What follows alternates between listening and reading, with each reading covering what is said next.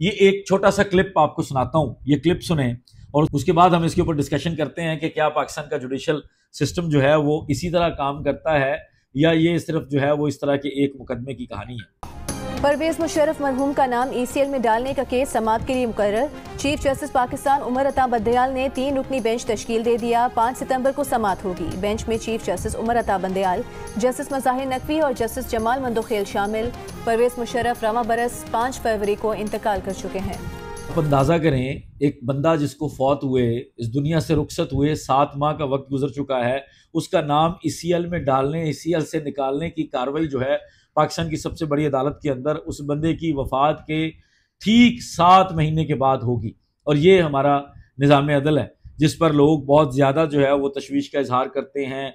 आम बंदा जो है वो इस तरह के कई मुकदमा हमने पहले सुना भावलपुर में एक बंदा जेल में था, वो जेल में उसको फांसी भी एग्जीक्यूट होगी और बाद में सुप्रीम कोर्ट के अंदर उसकी अपील की बारी आई। उससे पहले उसको फांसी दे दी गई। इस तरह कई ऐसे लोग हैं जो इंसाफ की, इंसाफ के इंतज़ार में जो है वो इस दुनिया से चले जाते हैं और उनकी अगली नस्ल जो है उन मुकदमात को फॉलो करती है।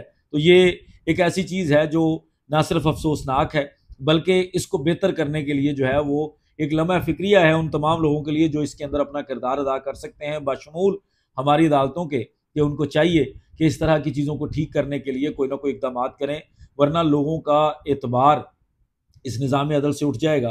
क्योंकि जिस केस की हम बात कर रहे हैं, वो बंदा ना सिर्फ़ एक सबक सदर रह चुका है, बल्कि सबक आर्मी चीफ भी रह चुका है और मुल्क के अंदर आर्मी चीफ, हमारे मुल्क के अंदर आर्मी चीफ की क्या ताकत होती है, या क्या इख्तियार होता है, या कितनी उसकी अहमियत होती है, वो आप में से किसी को समझाने की ज़रूरत नहीं है। बहुत शुक्रिया। असल